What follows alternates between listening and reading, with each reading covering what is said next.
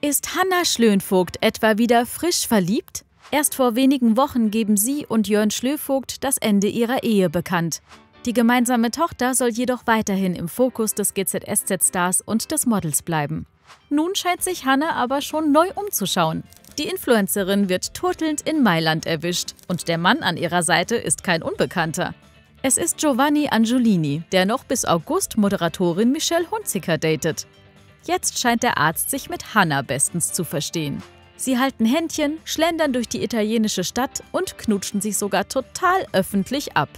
Bis jetzt äußern sich die beiden noch nicht dazu, aber die Handlungen von Hannah und Giovanni sprechen wohl Bände.